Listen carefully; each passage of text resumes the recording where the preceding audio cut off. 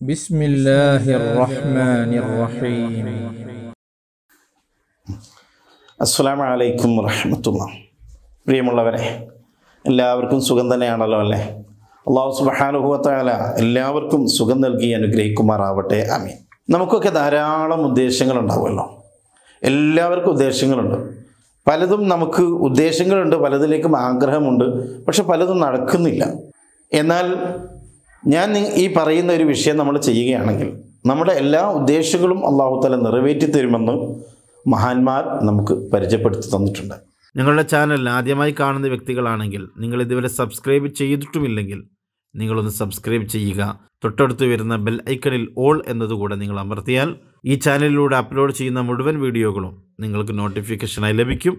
നിങ്ങൾക്ക് നല്ല നല്ല കാര്യങ്ങൾ പഠിക്കാനും ജീവിതത്തിൽ പകർത്താനും അതുകൊണ്ട് സാധ്യമാകും. അള്ളാഹു താല തോഫീഖ് ചെയ്യുമാറാവട്ടെ. ആമീൻ. എന്താണെന്ന് ചോദിച്ചാൽ ഒരു സൂറത്തിനെ കുറിച്ചാണ് ഞാൻ പറയുന്നത്. പരിശുദ്ധ ഖുർആാനിലെ ഏറ്റവും പ്രധാനപ്പെട്ട സൂറത്തുകളിലൊന്ന്. അരമ റസൂലി സ്വല്ലല്ലാഹു അലൈഹി വസ്ലമ തങ്ങൾ ഒരു ദിവസം പറഞ്ഞു സഹാബത്തെ എനിക്ക് ഒരു സൂറത്ത് അവതരിച്ചിട്ടുണ്ട്. ഈ ലോകവും ലോകത്തുള്ള എല്ലാറ്റിനേക്കാളും ഞാൻ ഇഷ്ടപ്പെടുന്നത് ആ ഒരു സൂറത്താണ്.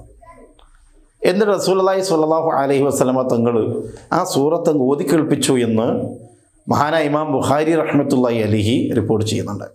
മഹാനായ സാലബ് റതി അള്ളാഹു താല നിവേദനം ചെയ്തു. റസൂലുള്ളാഹി തങ്ങൾ പറഞ്ഞു ആരെങ്കിലും സൂറത്തുൽ ഫത്തുഹ ഓതുകയാണെങ്കിൽ ആരെങ്കിലും സൂറത്തുൽ ഫത്തുഹ ഓതുകയാണെങ്കിൽ മക്കം ഫത്തുഹിന്റെ അന്ന് റസൂലുള്ളാഹി സ്വല്ലല്ലാഹു അലഹി വസ്ലമ തങ്ങളോട് കൂടെ ആ യുദ്ധത്തിൽ പങ്കെടുത്തവർക്ക് ലഭിക്കുന്ന പ്രതിഫലം അള്ളാഹു താലവന് കൊടുക്കുമെന്ന്. നോക്കണേ. ഒരു സൂറത്ത് നേരത്തെ ഞാൻ പറഞ്ഞ സൂറത്ത് അതാണ്. റസൂല്ലാക്ക് ഏറ്റവും ഇഷ്ടപ്പെട്ട സൂറത്ത് എന്ന് പറയുന്നത് സൂറത്തുൽ ഫത്തഹാണ് ആ സൂറത്തുൽ ഫത്തഹ് ദിവസം ഓതുകയാണെങ്കിൽ റസൂല്ലായി സ്വല്ലല്ലാഹു അലൈ വസ്ലമ തങ്ങളെ നമുക്ക് കാണാൻ കഴിഞ്ഞിട്ടില്ലല്ലോ. ആ റസൂല്ലാന്റെ കൂടെ നമുക്ക് ഒരുമിച്ച് കൂടാനും കഴിഞ്ഞിട്ടില്ല. എന്നാൽ ആ റസൂള്ളഹാനോട് കൂടെ മക്കം ഫത്തഹിന്റെ അന്ന് ഒരുമിച്ച് കൂടുന്നവർ എത്ര വലിയ ഭാഗ്യമുള്ളവരായിരിക്കും?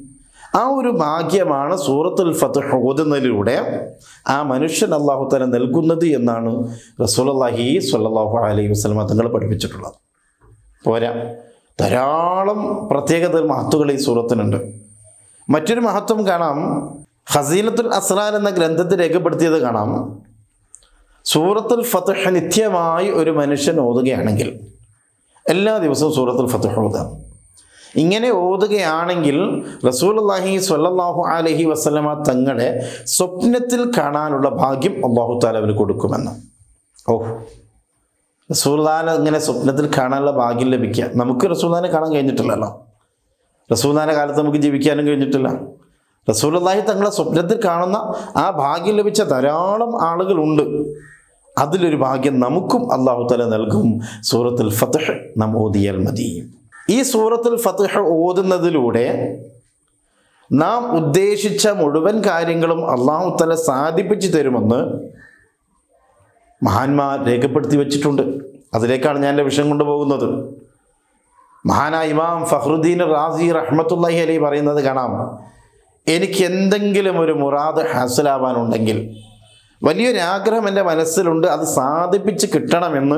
അത് അള്ളാഹു താല എനിക്ക് നൽകണമെന്ന് ഞാൻ ആഗ്രഹിക്കുന്ന സമയത്ത് ഞാൻ ചെയ്യുന്ന ഒരു രീതിയുണ്ട്. മാനവർകൾ പറയാണ് അതെന്താണെന്നറിയോ വെള്ളിയാഴ്ച ദിവസമുള്ള എല്ലാ സുന്നത്തുകളൊക്കെ ചെയ്ത് വെള്ളിയാഴ്ചകൾ ധാരാളം സുന്നത്തുകളുണ്ടല്ലോ.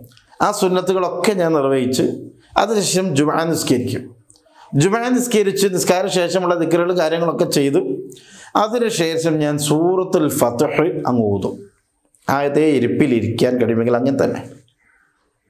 ഇമാം ഫഹുദ്ദീൻ റാസി റഹ്മത്തുള്ളി അലഹി അതേ ഇരിപ്പിൽ ഇരുന്നു കൊണ്ടാണ് സൂറത്തുൽ ഫത്തുഹ് ഓതുന്നത്.